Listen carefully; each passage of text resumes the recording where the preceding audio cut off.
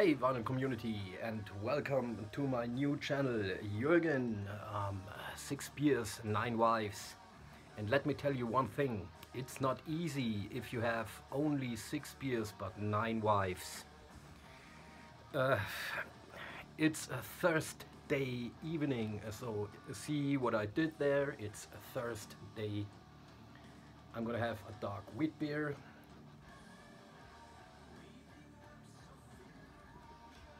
let's do a little collection update. I haven't done one in quite a while, so over the last couple of weeks and months I bought a couple of um, uh, vinyl records and a couple of CDs.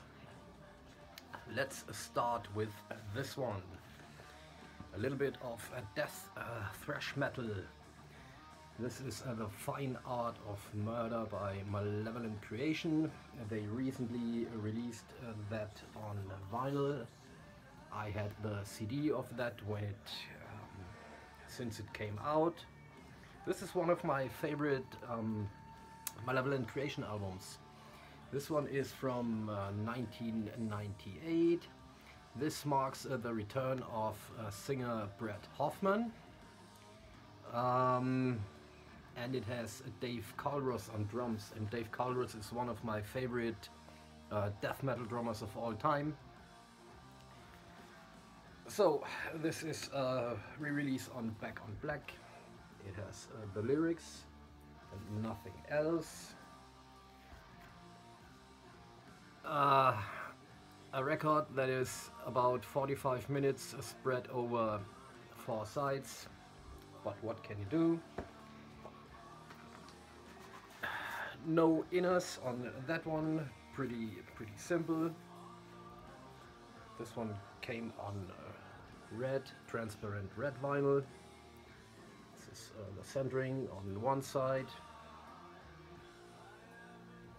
And the song titles on the other. So custom centerings at least they did that. And from what I know there is no black version. It says colored vinyl limited edition color may vary. So maybe there are a couple of uh, different colors. I don't know, mine was red when it came, so I have to live with that, but it sounds great. Staying with Male Malevolent Creation, another one of my favorites uh, of them, apart from, from the first two uh, Ten Commandments and Retribution, of course but they've got a huge, huge catalog and the first two, The Fine Art of Murder and The Will to Kill, these are my favorite for Malevolent albums. Oh, maybe Eternal. Maybe Eternal is a little bit better than that even. So, a little bit of uh, the same here. This album is under 40 minutes from what I can remember from the CD.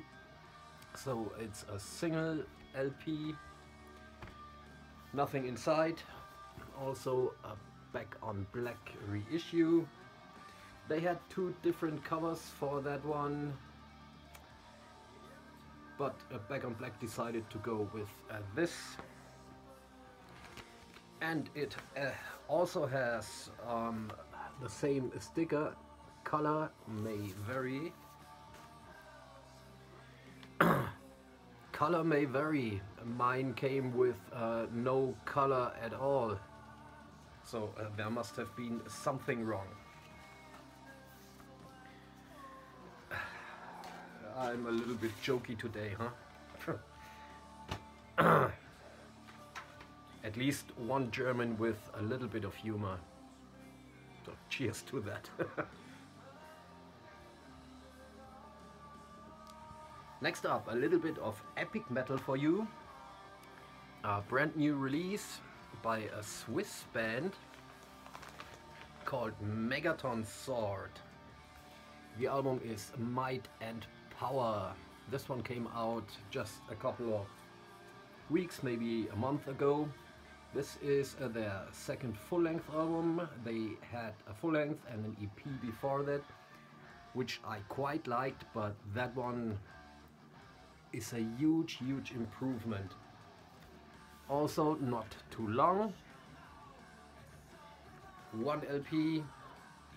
Came out on Dying Victims production. Uh, this is uh, the Megaton Sword.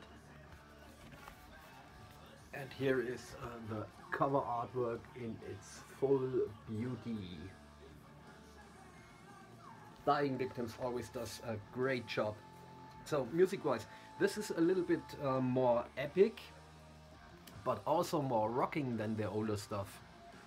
So uh, if you like uh, a cross between Manowar, Manilla Road and a little bit of power metal, this one's for you.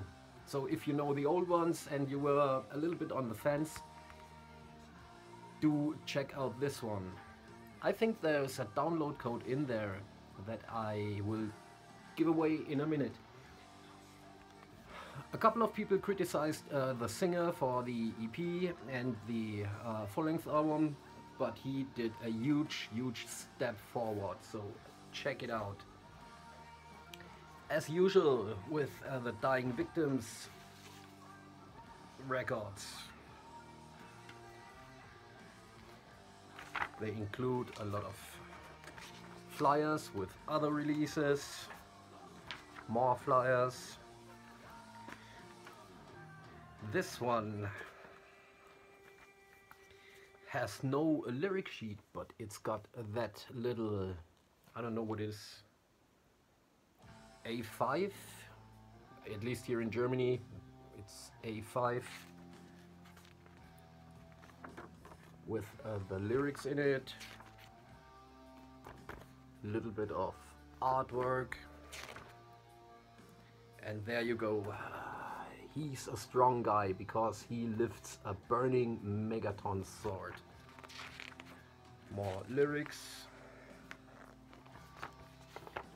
and uh, more band photos. So all of these guys must be pretty strong because everyone had the opportunity to lift uh, the Megaton sword. So that is uh, a little bit different but very nice. It has a sticker of uh, the album cover and it's got a postcard. Nice. Like I said, Dying Victims production always does a great job. And it has, of course, a Might and Power band picture poster. So if you are interested to check this out, can you read that? Okay, enough. First come, first served. has a hype sticker and it says second album by the Swiss epic metal quintet even more varied and heavy than before. That's right what I told you without reading the hype sticker. On that one I decided to get uh, the black vinyl. So now you have the download, check it out and decide for yourself if you like it or not. Or not. Next up, uh, more death metal. Um, I think everybody has shown this because um, almost nobody has uh, the original Nuclear Blast, Nuclear Blast version or the original Relapse, I think it was in the US, of Suffocation's first EP, Human Waste. That was supposed to be a demo tape, but somehow they got a record deal and uh, released it as a... What was it? Five, five or six, six song EP? Six songs, yeah. This was uh, the first one that I heard when it came out in 1990 and it's uh, still my favorite uh, Suffocation recording. This reissue came out on Relapse, um, has two bonus tracks from another demo from 1990.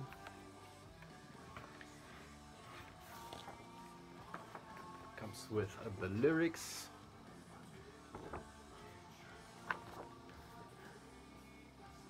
Band picture and some credits. This is awesome. That is another one I bought because um, it was um, ranked or rated with 1 out of 10 or 2 out of 10 points and I it says unlistenable death metal in 1990 so I bought the original CD. I never owned uh, the vinyl so now I do. Although Suffocation is a CD band for me but I had to get that on, on I almost said black wax uh, of course. There's no black wax available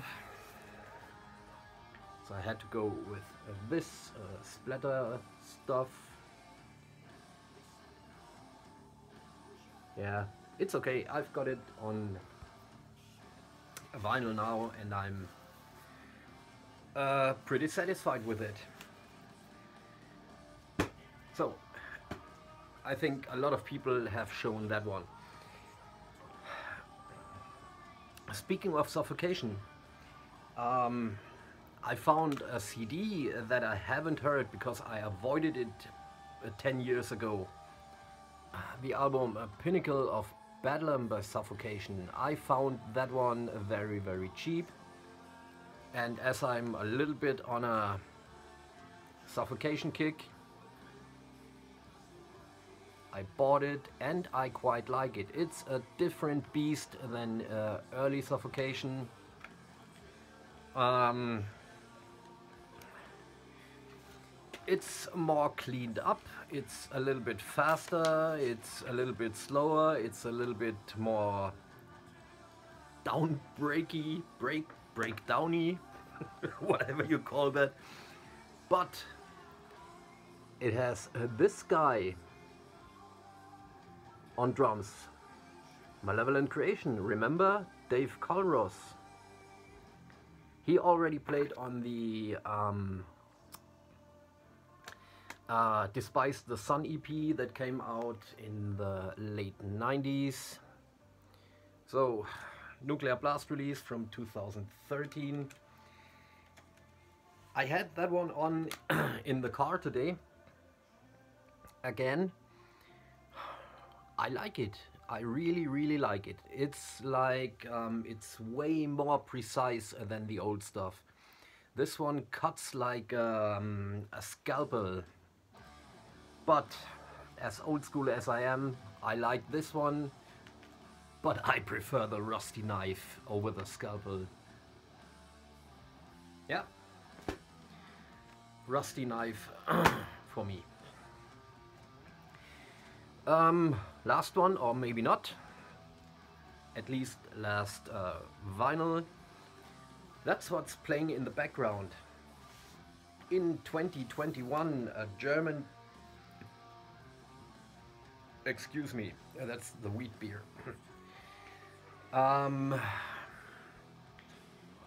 Doom Metalers, Epic Doom Metalers Wheel released the album Preserved in Time on Cruz del Sur Records. I did not get it when it came out, but I ordered the Megaton sword and I saw that one for not too much money on the Dying Victim side and I decided to finally get it. And it surprised me, trust me, this is a great fucking doom metal album. It's epic doom, a lot like Solitude Aeturnus. Singer Arkadius here reminds me a lot of, um, what's his name, Robert Lowe. Listen, listen to that.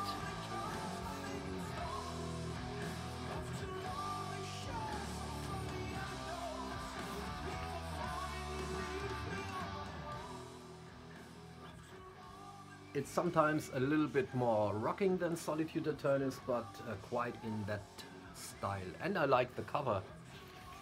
This is a matte finish. This is some kind of, Splatter vinyl, but uh, the record is playing right now. Like I said, the band formed in 2006 and from what I know this is their first official um, release. Look at them. These guys are a little bit older so they know their craft and if you liked what you heard again here is a download code. I'm holding it up a little bit longer because this uh, shitty thing won't focus so at least you get the chance to read it very very much recommended. If you like old melodic epic doom fucking metal. So uh, I've got a little bit time a little bit of time. I just got in the new Enslaved album. So uh, this is the last one. It's called Heimdal. And like always on uh, Thursdays, uh, Thursdays, cheers.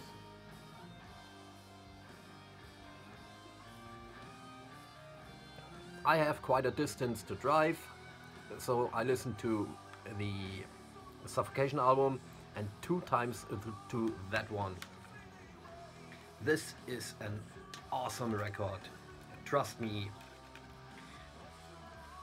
if you like a little bit of black metal, not not very much, just a little bit, and you like progressive music in general,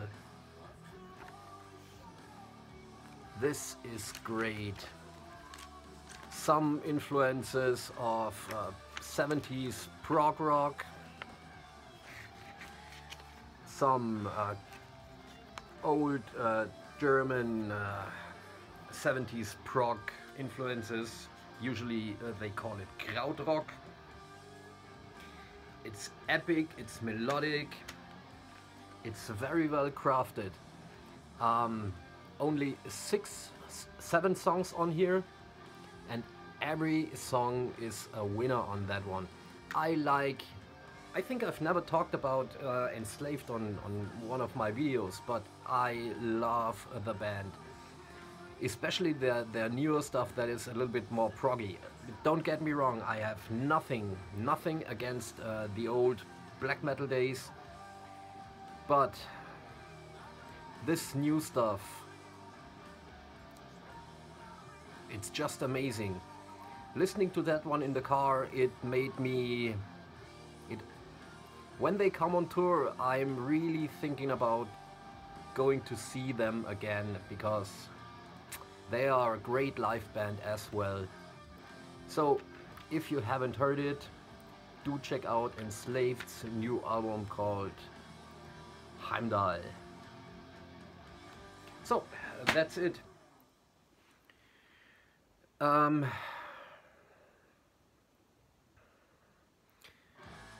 only a quarter of the beer has gone down my throat, so I've got um, more than five left, so uh, five, five and a half beers, uh, still nine wives. Have a nice weekend and see you soon. Good night.